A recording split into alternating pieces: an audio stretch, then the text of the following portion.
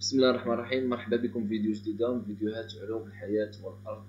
آه، قناة Solo SVT إذا هذا الفيديو غادي نحاولوا نبداو فيه غادي نحاولوا نشوف فيه مقدمة حول الوحدة السادسة والأخيرة من برنامج السنة الثانية بكالوريا علوم الحياة والأرض.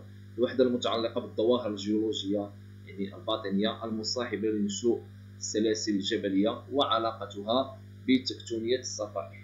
في هذا الفيديو سنحاول أن يعني نعالج فقط مقدمة لهذه الوحدة أو لا سنتعرف على الأسئلة التي سنحاول الإجابة عليها في هذه الوحدة. إذا كتمهيد كتمهيد سنحاول أن نذكر بالمكتسبات السابقة المتعلقة بالظواهر الجيولوجية. إذا البنية الباطنية للكرة الأرضية. donc أولا سنتعرف على البنية الباطنية للكرة الأرضية.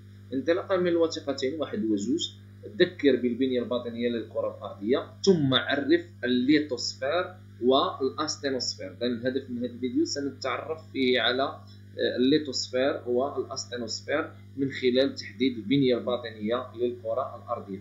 إذا كيف ما يعني كتشوفوا معايا هنا في الوثيقة donc عندي واحد المجموعة من العناصر. عندي واحد المجموعة من العناصر. عندنا اولا donc هنايا عندي رقم آه، العناصر مرقمة من واحد إلى آه، ستة. donc هنايا رقم واحد يعني من 30 إلى 85 كيلومتر هو عبارة عن قشره آه، قارية. رقم جوج العنصر رقم جوج هو عبارة عن قشره محيطية. العنصر رقم ثلاثة هو يعني الجزء العلوي أو الرداء العلوي. العنصر رقم أربعة الرداء السفلي. العنصر رقم خمسة النواة الداخلية عفوا الخارجية والعنصر رقم ستة النواة آه، الداخلية. إذا النواة الداخلية تحدد من عمق يعني العمق ديالها آه، أو يعني طولها إلا بغينا نقولوا 1200 كيلومتر. آه، النواة الخارجي الخارجية 2270 كيلومتر. الرداءين العلوي والسفلي 2885 كيلومتر والقشرة يعني المحيطية أو القارية من 30 دونك بالنسبة للقشرة المحيطية القارية عفوا هي من 30 إلى 65 كيلومتر والقشرة المحيطية كنلقاوها تقريبا في حدود ديال 30 آه، كيلومتر. كيف ما تتشوفوا بين النواه الخارجية والنواه الداخلية عندي العنصر رقم 6 على مستوى يعني 5155 كيلومتر.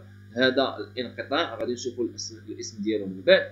كذلك عندنا آه، بين النواة الخارجية والرداء آه، يعني السفلي عندنا كذلك انقطاع آخر. وبين القشرة المحيطية أو القشرة القارية والرداء يعني العلوي عندنا الانقطاع اللي سميناه بيك. donc غادي نتعرفوا على الانقطاعات بشكل أدق عندنا في هذا الشكل يعني في الوثيقة رقم جوج.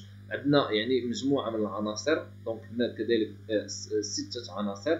العنصر رقم واحد كما سبق وصلنا من 30 ل 65 كيلومتر اللي كيشكل لنا القشرة أو عفوا يعني آه، آه، القشرة القارية. العنصر رقم جوج القشره المحيطية. كيف ما تلاحظوا القشرة القارية آه، عفوا المحيطية أكثر كثافه من القشرة القارية. عندنا كذلك العنصر رقم ثلاثة اللي هو الرداء العلوي العنصر رقم أربعة اللي هو الرداء السفلي العنصر رقم خمسة اللي هو النواة الخارجية والعنصر رقم ستة اللي هو النواة الداخلية واللي كيوصل يعني كتوصل الكثافة ديالها ل 12 بينما كثافة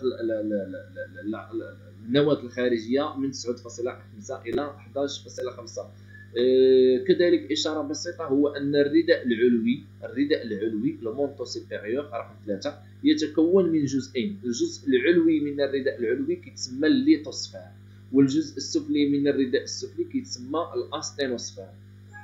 هذا الجزء العلوي من الرداء العلوي اللي هو العنصر رقم سبعة بالإضافة إلى القشرة المحيطية كيكونوا لنا ما يسمى بالغلاف الصخري. اذا تتكون القشرة الأرضية من ثلاث أقسام رئيسية. أولا القشرة فيها جزء محيطي وجزء قاري ثم الرداء فيه علوي وسفلي ثم النواة فيه النواة الداخلية ونواة خارجية.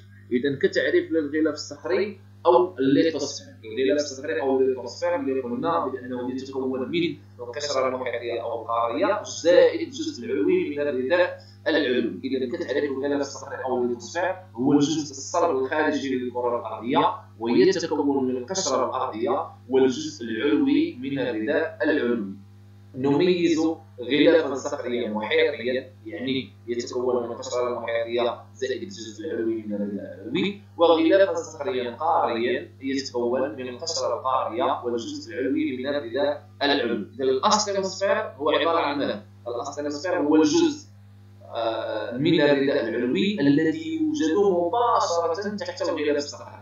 إذا عندنا الغلاف الصخري اللي هو القشره المحيطيه زائد القشره عفوا القشره المحيطيه أو القاريه زائد الليتوسفير اللي هو الجزء العلوي إذا الجزء اللي كيتواجد مباشرة تحت الغلاف الصخري هو ما يسمى بالاستينوسفير donc قلنا الاستينوسفير هو جزء من العلوي الذي يوجد مباشرة آه، مباشرة أسفل الغلاف الصخري. هذا الغلاف الصخري اللي قلنا كيتشكل لنا من آه، الليتوسفير زائد القشره المحيطيه أو زائد القشره القاريه اذا آه، هنا غلاف الصخري قلنا الذي يتميز بلزوجته الكبيره مقارنة مع الغلاف الصخري إذا كيف ما تشوفوا أن الكثافه ديال الليتوسفير أو عفوا الكثافه ديال الاستينوسفير هي يعني أكبر. إذا شفنا السهم الكثافه ترتفع شيئا كلما اتجهنا لسطح الأرض نحو آه، عمقها إذا الكثافه ديال الليتوسفير أو ديال الغلاف الصخري هي أقل من الكثافه ديال آه،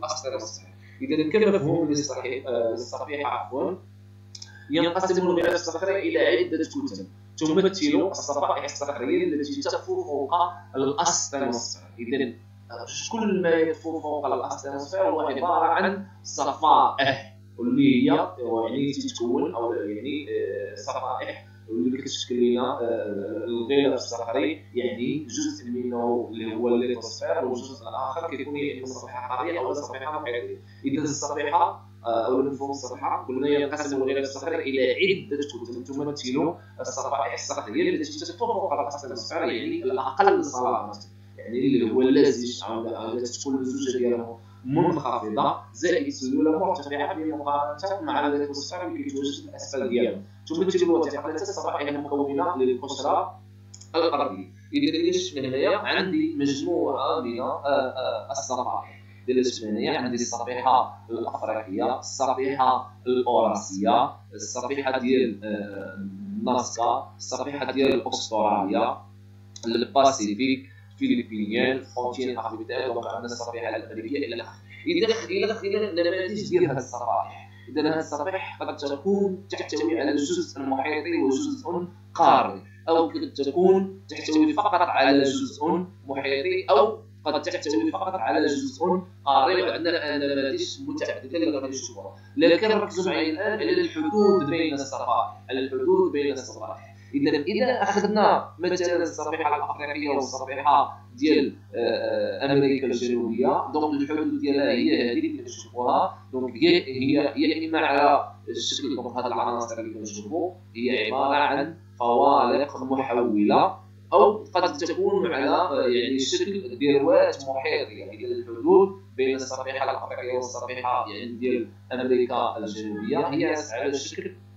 حدود أو على شكل يعني فوالق محوله وذروات محيطيه وفي بعض الأحيان نجد أن الحدود بين الصفائح يعني مثلا القاريه والمحيطيه هي عباره عن مناطق للطمر مناطق الطمر التي تعرفوها اللي هي من غير الصفيحه المحيطيه تحت الصفيحه القاريه اذا شنو هي الأنواع ديال الصفائح المتواجده باعتماد نوعية القشره دونك هناك صفائح تتكون فقط من قشره محيطيه وبالتالي تتسمى هذه الصفائح محيطيه هناك صفائح تتكون فقط من قشره قاريه وكتسمى اذا صفيحه قاريه وهناك صفائح تتكون يعني من صفيحتين قارية ومحيطيه كالصفيحه الافريقيه اذا هذه كتسمى صفائح محيطيه قارية. اذا اذا بغينا نقولوا قارية أو صفائح قارية. بحال شبه الجزيرة العربية؟ اللي غادي نشوفوها في الوثيقه النموذجيه صفائح محيطيه بحال الصفيحه ديال المحيط الهادي أو الصفيحه ديال الناسكا وصفائح قاريه محيطية بحال الصفيحه الافريقيه والصفيحه الاوراسيه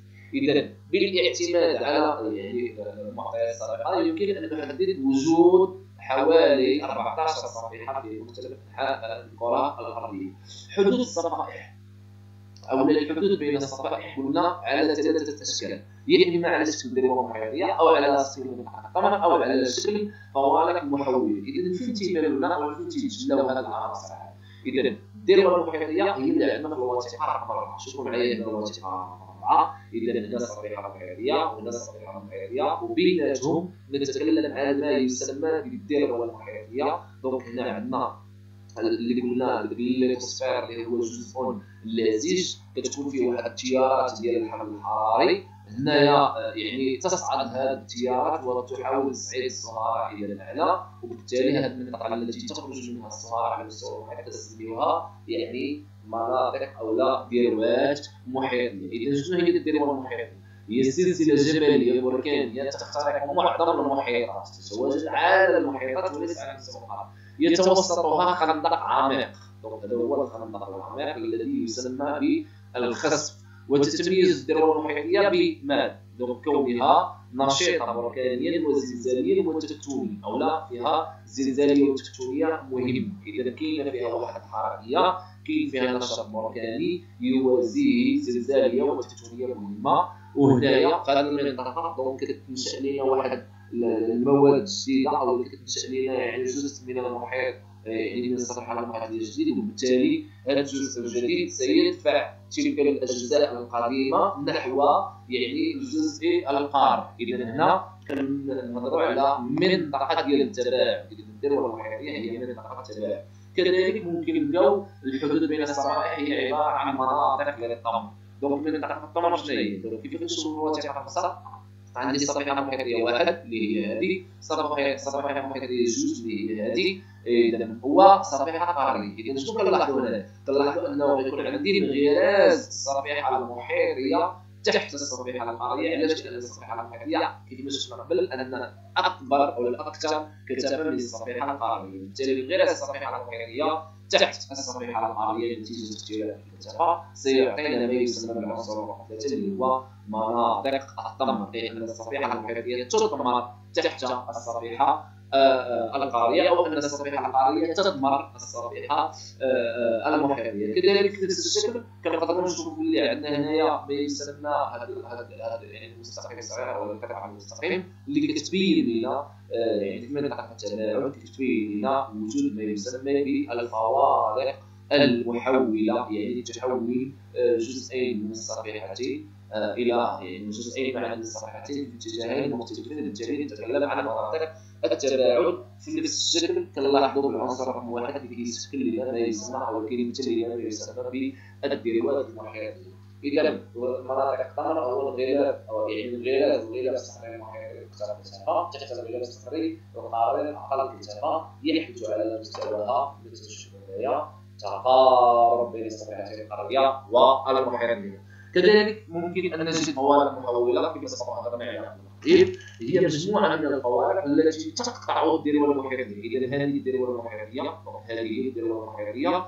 كيقطعها لنا واحد العنصر رقم جوج اللي هو عبارة عن فارق والتي على مستواها يحدث انزلاق الصفائح واحتكاكها تبين كذلك الوثيقه السته انواع الحدود بين الصفائح لنا وهضرنا عليه إذا يا إما انواع الحدود بين الصفائح يا إما آه، يعني قلنا يا إما آه، فوالق محوله كيف ممكن تشوفوا هنا العنصر رقم ثلاثة. يا إما العنصر رقم أربعة اللي هي عباره عن ذروه آه، محيطية. يا إما يعني مناطق ديال يعني ديال المناطق ديال الطبقه إذا قلنا هنا عندنا اربعه الاشكال أو اربعه أو ثلاثة نماذج ديال الحدود بين الصفائح قلنا الذي يحرك كل هذه النماذج أو كل هذه الحالات يعني ديال الطمر ديال ديال ديال مناطق الطمر في الفوالق المحولة وفي الذروات المحيطيه الذي يحدث كل هذا شنو؟ هو أنه على مستوى الليتوسفير هذا العنصر. هذا الجزء يعني الجزء الأسفل الجزء السفلي من العلوي donc هو اللي قلنا سمينا الاستينوسفير فوق كاين الليتوسفير. donc الليتوسفير مع القشره المحيطية كيشكلوا لنا الغلاف الصخري المحيط وتحتهم كاين الاستينوسفير إذا هذا الاستينوسفير هذا آه، على مستوى بما انه مازالش إذا كاين على مستوى واحد الحركية ديال آه، المواد اللي كيتم اللي هي أساسا مشكلة من البيريدوتيت هنا هذا البيريدوتيت كيدير واحد الحركيه donc كتسمى بتيارات الحمل الحراري. هي اللي كتحرك لنا هذا البيريدوتيت وبالتالي فاش كيتحرك هذا البيريدوتيت على هذه الشاكلة. كيدفع لنا القارة أو الجزء المحيطي عفوا الجزء المحيطي نحو القارة وفي نفس الوقت يشكل آه، جزءا جديدا من يعني من الصفيحه المحيطيه إذا المحرك الرئيسي لهذه الصفائح هو تيارات الحمل الحراري وبالتالي هنايا هذه التيارات الحمل الحراري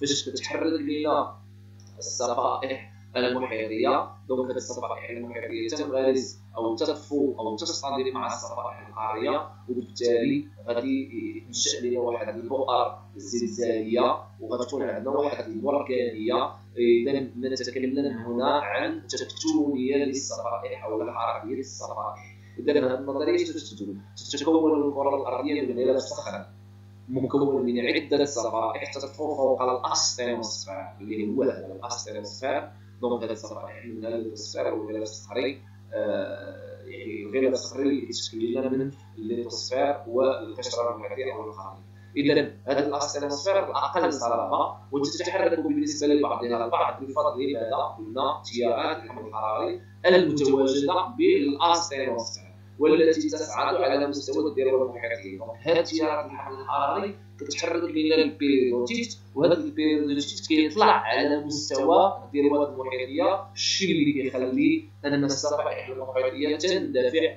نحو آه، الصفائح الخارجيه تعتبر تيارات الحمل الحراري محرك الصفائح التي يمكن أن تتباعد أو أن تتقارب يعني تتجاوب أو أن تحتك فيما بينها إذا السؤال الكبير اللي نطرحه هنا هو ما هي نتائج حركيه الصفائح donc هنا هاد هاد الحركة ديال الصفائح اللي الاساس ديالها من هو تيار الحمل الحراري شنو غتكون النتائج ديالها؟ بطبيعه الحال غتكون هي سلاسل الطمر سلاسل الطفو وسلاسل الاصطدام إذا كانت هذه المقدمه حول الوحدة ديال آه، الجيولوجيا الباطنية نلتقي في فيديو آخر الذي نحاول نعالج فيه الفصل الأول ومتعلق بالسلاسل الجبلية الحديثه وعلاقتها بتكتونيه الصفائح أستودعكم الله الذي لا تضيع ودائعه والسلام عليكم ورحمة الله تعالى وبركاته.